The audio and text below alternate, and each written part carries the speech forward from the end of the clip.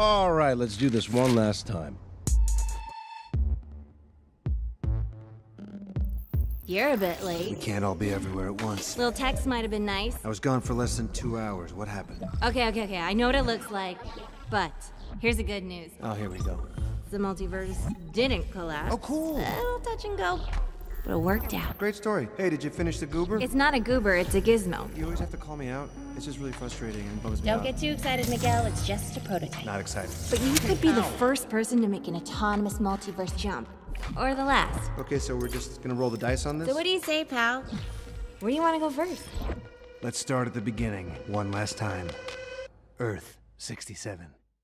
Welcome back, everyone. It's Charlie. Sony just dropped the Spider Man Into the Spider Verse 2 teaser, and we already know a whole bunch about the movie, so we'll break it down. I do Easter egg videos every week. If you're brand new to my channel, be sure to subscribe to get everything. I will think of some fun Spider Verse giveaway to do in all my Spider Man videos because there is a lot of Spider Man related movie stuff happening in the next two years. But right after the first movie came out and was a huge critical and financial success, we all knew that they were working on a sequel. Even the producers were talking about it. The reason why they're only just releasing this now is because after the first one came out, all the people that worked on the first one, which is amazing, needed a short break and they needed to figure out what the story of the sequel would be and figure out how long it would take to make it so they could pick a release date which wound up being April 8th, 2022. The first one came out December 2018, so if you're wondering why it's taking them almost four years to make the sequel, it's because that's about how long it took them to make the first film. It took a long time. Also, some Easter eggs from that teaser when they're glitching between the different Spider Man versions and the different logos. They flash the logo from the 1978 Japanese Spider Man TV series, implying he'll play some role or cameo during the movie at some point, and they flash the logo from the 1990s animated Spider Man TV show, implying that they'll incorporate some elements from that too. This could also be representative of Jessica Drew's symbol, and this one could also be Ben Reilly. There's also some theories that this one represents Mr. Negative, because he is a really big character they used in the Spider Man PS4 games, longtime comic book Spider Man villain. Would make sense they would try to include him in the Spider Verse movies at some point. There are also a lot of people that are wondering if this might represent Carnage or some sort of twist on the Venom symbiote, but I don't think that they would do Carnage before they do Venom. We already know a little bit about the basic plot and the characters in the ending scene from the first movie and that last Spider Man 2099 post credit scene are really big teasers and Easter eggs for how the sequel will work. They kind of already told you how they're going to accomplish that because the whole premise of the first movie is that Kingpin uses a machine to crack open the multiverse or the Spider Verse, as you call it in the Spider Man comics. There's even webs connecting the different dimensions in the background where they're all falling through to Miles' Earth from the Ultimate Spider Man comics. So they really are literally doing Spider Verse. They destroy that machine at the end of the movie, Kingpin is in jail, and most of the Sinister Six and other major Spider Man villains have been neutralized or aren't smart enough to reconstruct that multiverse device. So you ask, how do they bring back the characters from the first movie for another team up on Miles' Earth and any new characters that they want to add to the team? So here's the thing they already answered that question with the ending scene where, after the events of the main movie, there's a short time jump and Spider Gwen opens a portal above Miles' head to just chat him up from her universe. And if it wasn't clear, that is supposed to be happening in a relatively short amount of time after they all go back to their universes at the end of the movie, so she really is Skyping him from her universe. Then they explained how she did that in the Spider Man 2099 post credit scene. Miguel O'Hara, Spider Man 2099, played by Oscar Isaac himself, if you didn't recognize his voice, constructs a futuristic goober based on the WebWare wrist devices from the Spider Verse comics that allows him to travel the multiverse or the Spider Verse at free will. And he can do it with precision. He can set exactly where in time and space he wants to go. He goes back in time to the very first Spider Man 1960s animated TV show to recreate that pointing gif. Whoa. What the? I'm Spider Man. I need you to come with Who me. Who the heck are you? I, I just told you that. Listen, listen. I'm from the future. How dare you point at me? You you were pointing first. It's rude to point. You're being very rude. You're not even believing what I'm Which one You're I'm pointed first? As awesome as that was, they were also using that post credit scene to sort of set up the logic of how the sequel can work.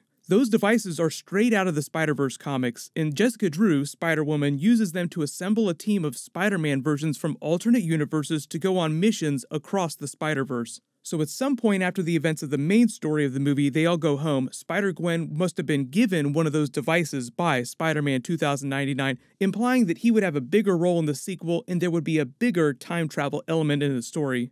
They already used time travel in the first movie if that wasn't clear, so Spider Man Noir, played by Nicolas Cage, was hilarious, but he actually comes from Depression 1930s era then Peni Parker with her Evangelion mech come from the distant future, even further in the future from Miguel O'Hara's Spider Man 2099. So they were already time traveling in that movie, so it's no big deal to have people from other points in time and other universes show up in present day on Miles' Earth.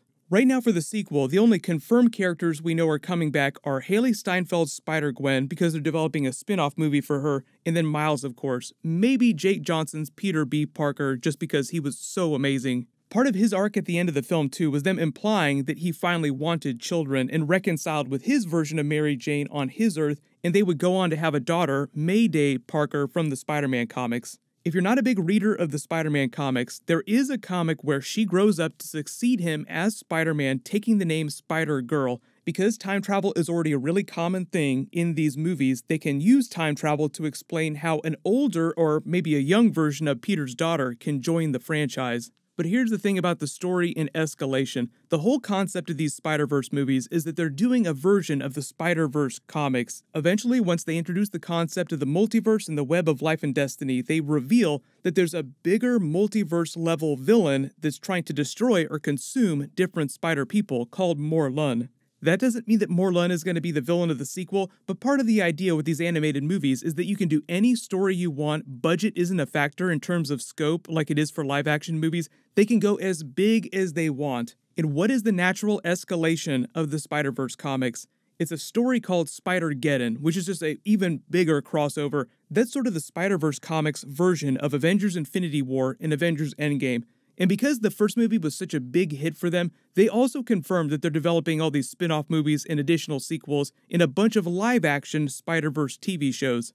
Really cool inside baseball Easter egg from the first movie, too. Originally, they talked about including live action elements as part of the many different versions of Spider Man that appear during the movie, Tom Holland also revealed recently that they originally planned to have him cameo as his MCU Spider Man in the movie, and Lord and Miller, the producers, also said they discussed about bringing back Tobey Maguire and Andrew Garfield as their versions of Spider Man. So there is no limit to the level of craziness that they will eventually get to. And yes, once Tom Holland, Tobey, and Andrew Garfield cameo as their Spider Man versions, that effectively canonizes their movies to this larger Spider Verse that they're creating with the animated movies. That's also kind of the idea of how you can explain MCU Spider Man hopping between the MCU movies and the Venom movies, or that Tobey's Spider Man exists in an alternate universe. Even Peter B. Parker was created to be an amalgam of all the previous versions of Spider Man in the movies. Like when he's telling his backstory, a lot of the scenes that they show are scenes from Tobey Maguire's Spider Man movies. The only totally new concept that I believe that they'll introduce in the sequel is the concept of Venom, because we didn't really get into any symbiotes or anything like that during the first Spider-Verse movie. But if they talked about including Tom Holland as his version of Spider Man in these movies, then I think that they would also try to get Tom Hardy to cameo as his version of Venom in the animated Spider Verse movies at some point. Everyone, post all your theories for Spider Verse 2 in the comments, and I will do more Spider Man and Venom 2 videos soon. But everybody click here for my Venom 2 teaser video and click here for my Doctor Strange 2 Ghost Rider video. Thank you so much for watching. Everybody stay awesome. I'll see you guys tonight.